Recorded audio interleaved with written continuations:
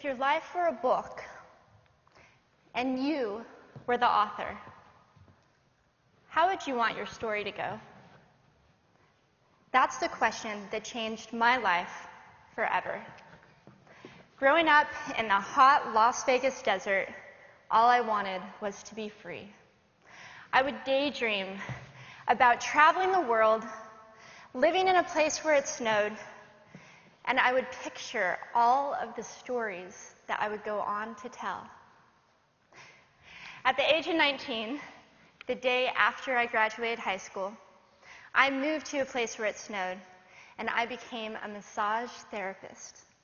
With this job, all I needed were my hands and my massage table by my side, and I could go anywhere. For the first time in my life, I felt free, independent, and completely in control of my life. That is, until my life took a detour. I went home from work early one day with what I thought was the flu, and less than 24 hours later, I was in the hospital on life support with less than a 2% chance of living. It wasn't until days later, as I lay in a coma, that the doctors diagnosed me with bacterial meningitis, a vaccine preventable blood infection. Over the course of two and a half months, I lost my spleen, my kidneys, the hearing in my left ear, and both of my legs below the knee. When my parents wheeled me out of the hospital, I felt like I had been pieced back together like a patchwork doll. I thought the worst was over until weeks later when I saw my new legs for the first time. The calves were bulky blocks of metal with pipes bolted together for the ankles, and a yellow rubber foot with the raised rubber line from the toe to the ankle to look like a vein. I didn't know what to expect, but I wasn't expecting that. With my mom by my side and tears streaming down our faces, I strapped on these chunky legs and I stood up. They were so painful and so confining that all I could think was, how am I ever going to travel the world in these things? How was I ever going to live the life full of adventure and stories as I always wanted? And how was I going to snowboard again? That day, I went home, I crawled into bed, and this is what my life looked like for the next few months. Me passed out, escaping from reality, with my legs resting by my side. I was absolutely, physically, and emotionally broken. But I knew that in order to move forward, I had to let go of the old Amy and learn to embrace the new Amy. And that is when it dawned on me that I didn't have to be five foot five anymore. I could be as tall as I wanted.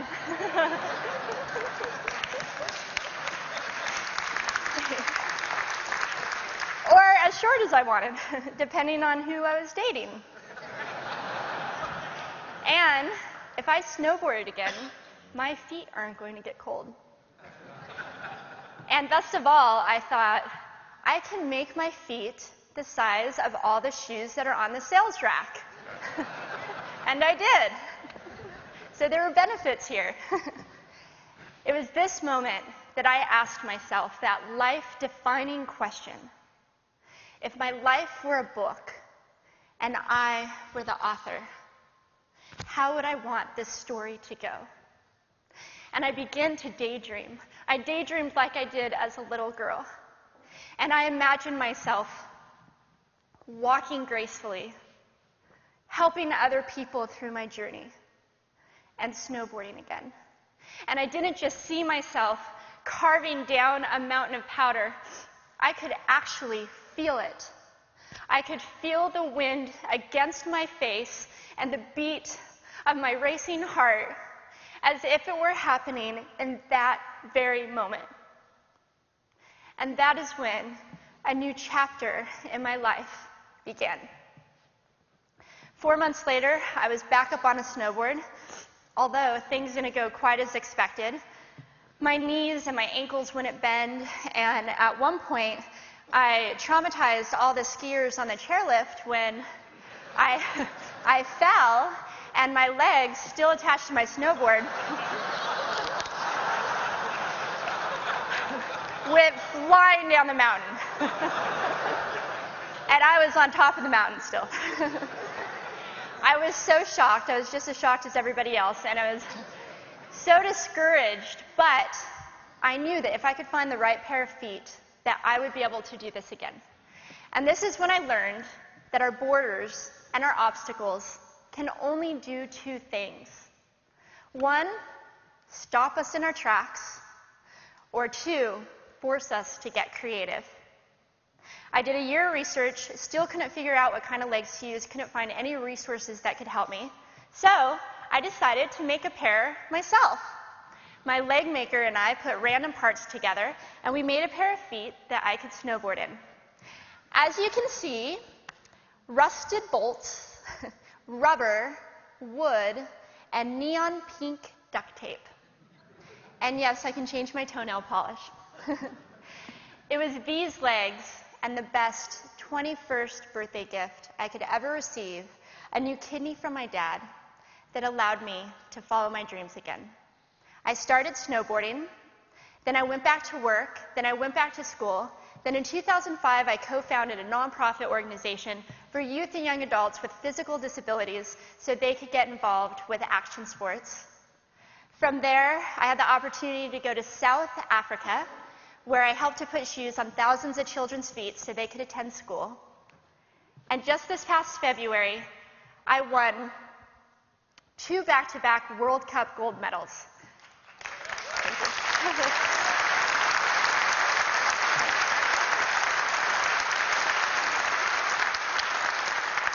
Which made me the highest ranked adaptive female snowboarder in the world.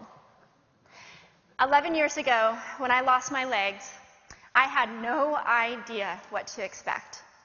But if you asked me today if I would ever want to change my situation, I would have to say no because my legs haven't disabled me. If anything, they've enabled me. They've forced me to rely on my imagination and to believe in the possibilities. And that's why I believe that our imaginations can be used as tools for breaking through borders. Because in our minds, we can do anything and we can be anything. It's believing in those dreams and facing our fears head on that allows us to live our lives beyond our limits.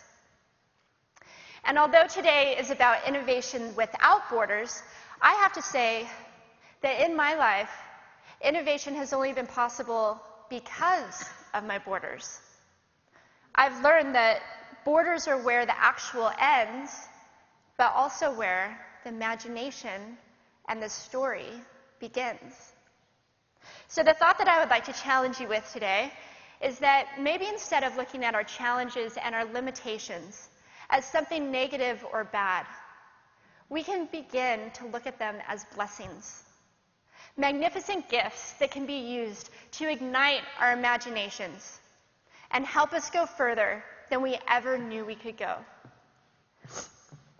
It's not about breaking down borders. It's about pushing off of them and seeing what amazing places they might bring us. Thank you.